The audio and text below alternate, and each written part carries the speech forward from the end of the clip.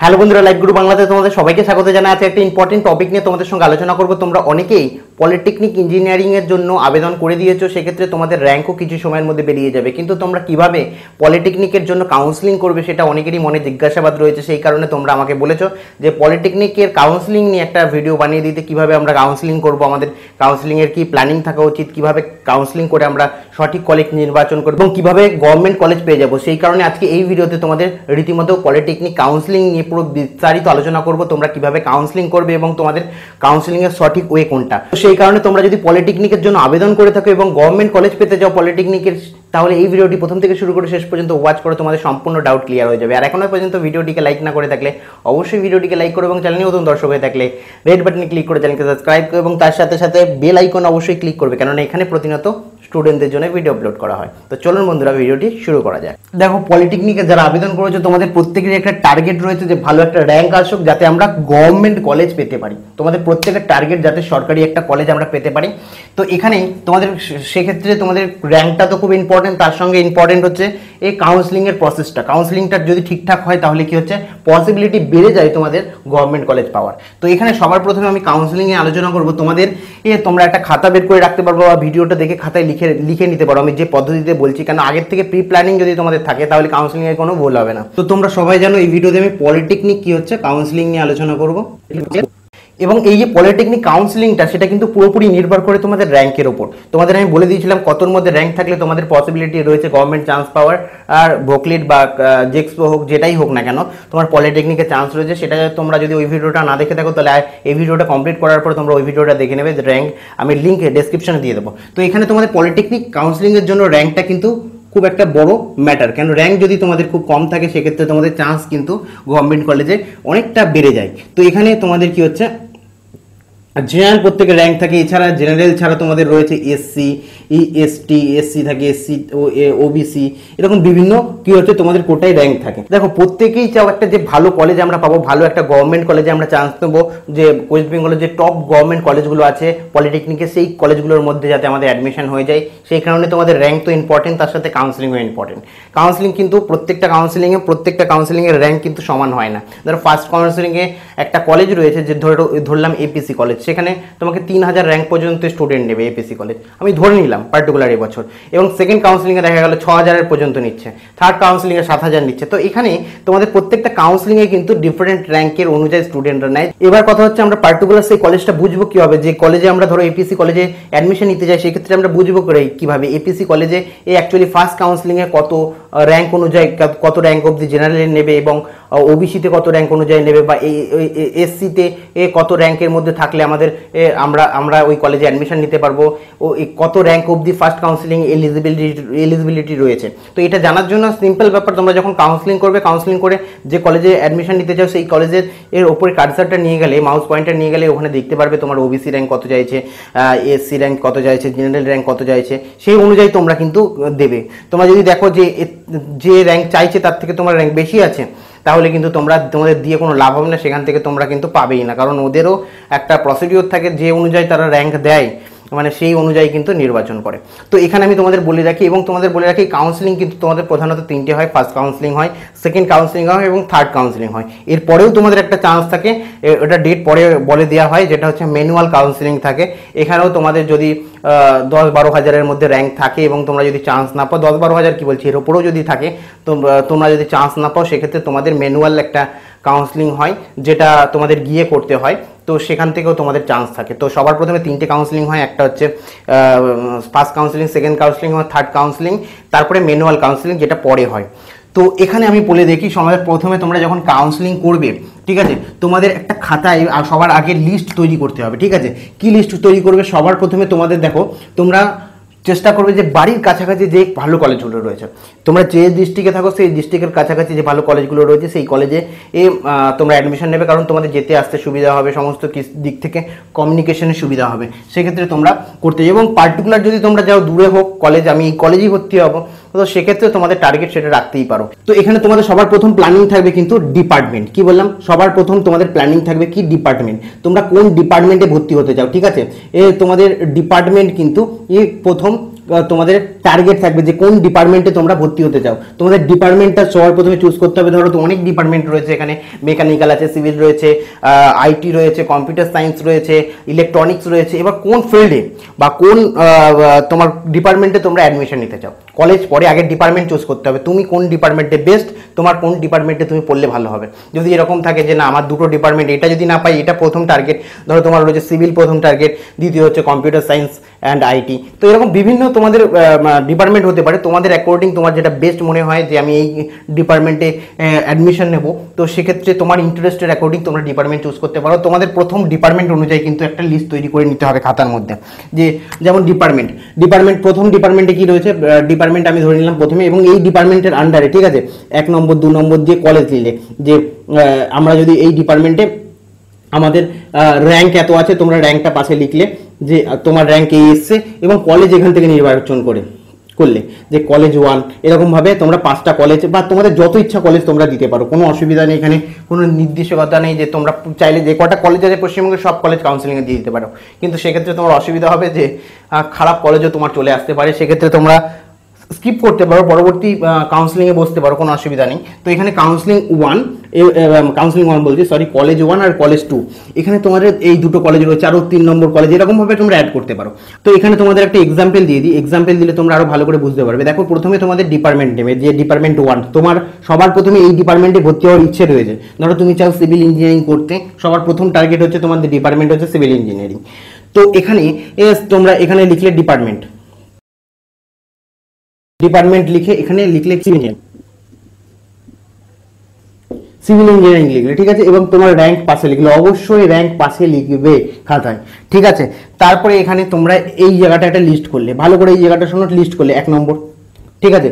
যখনই তোমার র্যাঙ্ক আসবে এই লিস্টিং করে নেবে, তারপরে কাউন্সিলিং এর তো অনেক সময় থাকে, তাই জন্য আগে লিস্টিং করে নেবে বা এখনও এরকম ভাবে লিস্টিং করে জায়গাগুলো গ্যাপ রেখে দিতে পারো। যখন তোমাদের কাউন্সিলিং শুরু হবে, তখন এইভাবে তোমরা করে নিতে পারবে তোমার ফার্স্ট কলেজ ধরো তোমরা ধরো তোমার তোমার সিভিল ইঞ্জিনিয়ারিং রয়েছে সিভিল ইঞ্জিনিয়ারিং এর জন্য তোমার কাছাকাছি দেখতে হবে তোমার এরিয়া ওয়াইজ ঠিক আছে? তোমাদের প্রথম টার্গেট থাকবে, এই যে র্যাঙ্ক রয়েছে র্যাঙ্ক অনুযায়ী তোমাদের দুটো টার্গেট থাকবে।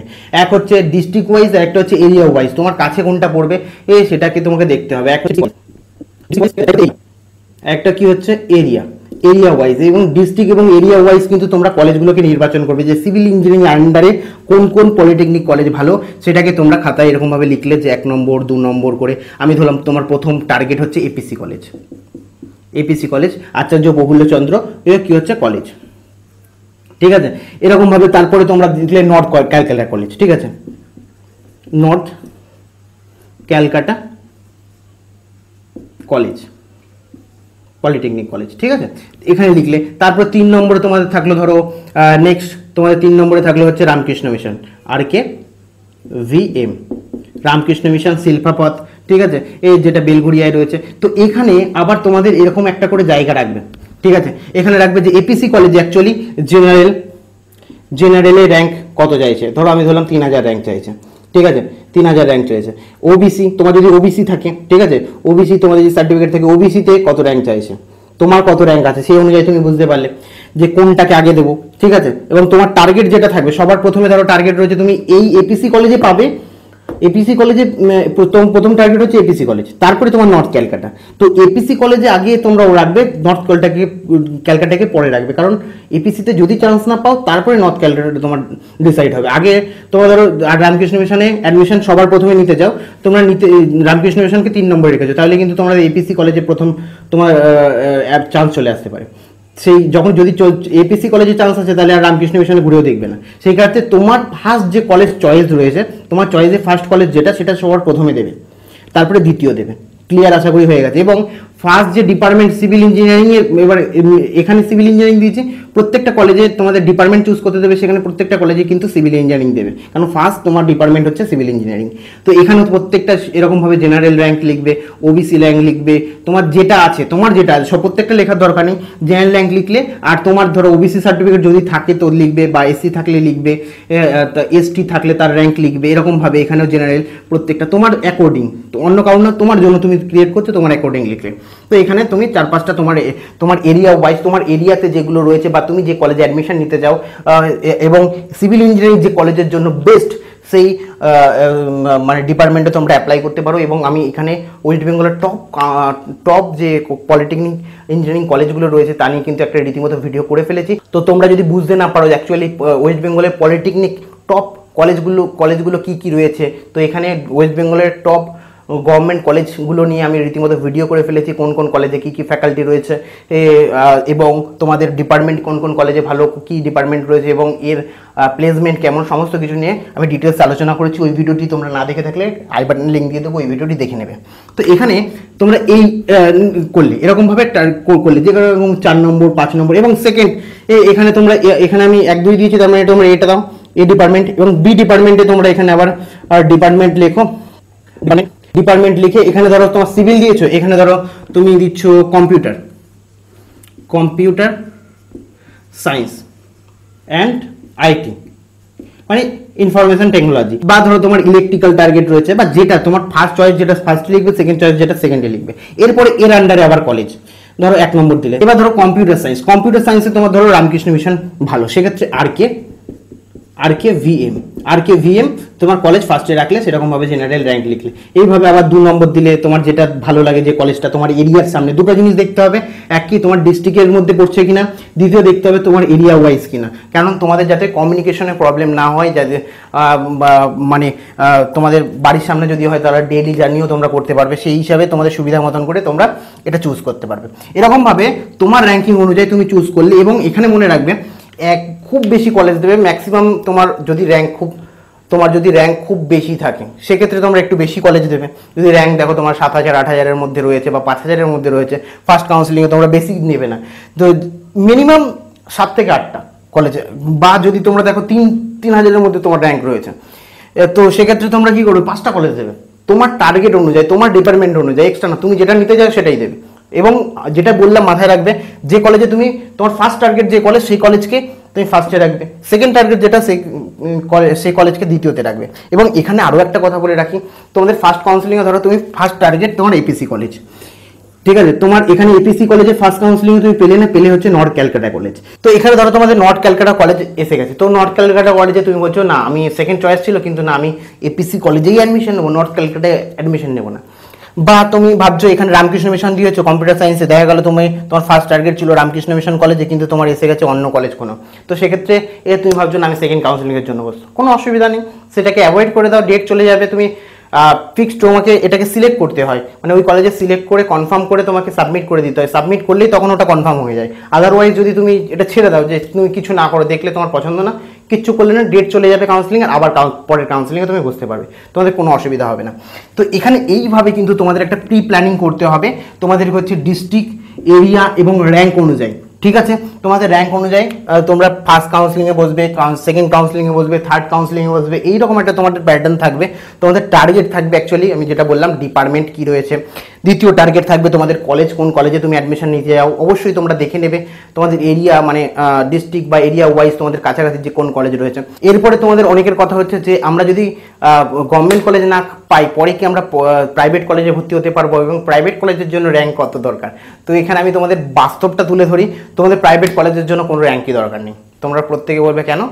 কিন্তু এটাই বাস্তব, তোমাদের প্রাইভেট কলেজের জন্য অ্যাকচুয়ালি কোনো র্যাঙ্কের প্রয়োজন নেই, কারণ তুমি যাই র্যাঙ্ক করো না কেন প্রাইভেট কলেজগুলো বসে রয়েছে।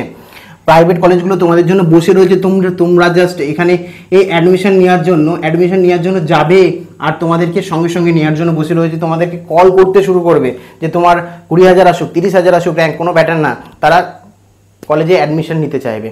সবার প্রথমে কলেজের সিট সংখ্যা বাড়াতে চাইবে। কেন? প্রত্যেকটা স্টুডেন্ট কী করে? সবার প্রথমে টার্গেট রাখে।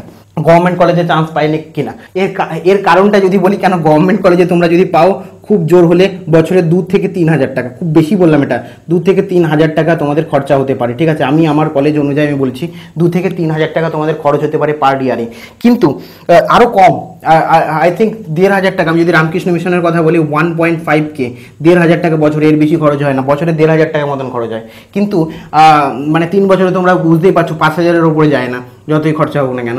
এরপরে যদি আমি বলি অন্যান্য কলেজে ধরো প্রাইভেট যে কোনো একটা কলেজ রয়েছে প্রাইভেট কলেজে তোমরা ভর্তি হতে যাও, সেক্ষেত্রে তোমাদের প্রত্যেক বছর ওর তোমাদের পঞ্চাশ থেকে এ দু লাখ পর্যন্ত হতে পারে। বুঝতে পেরেছ? পঞ্চাশ থেকে দু লাখ পর্যন্ত হতে পারে।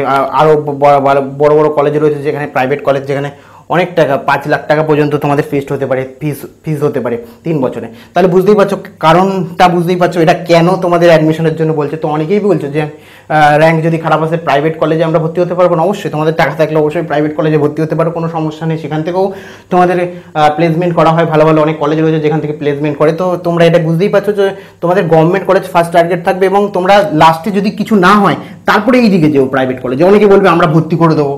অনেক ইউটিউব চ্যানেল থেকে তোমাদের বলবে যে আমরা ভর্তি করে দেবো পলিটেকনিক কলেজে বা অন্যান্য কলেজে ভর্তি হওয়ার জন্য, নিচে নাম্বার দেওয়া আছে, আমাকে ফোন করো।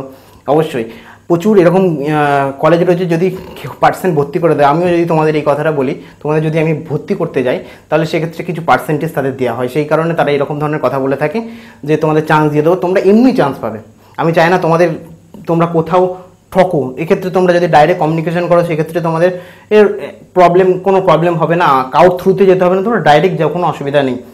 তো এখন কথা হচ্ছে তোমাদের পলিটেকনিকের র্যাঙ্ক কবে দেবে? তো এখনও পর্যন্ত কোনো অ্যানাউন্সমেন্ট হয়নি।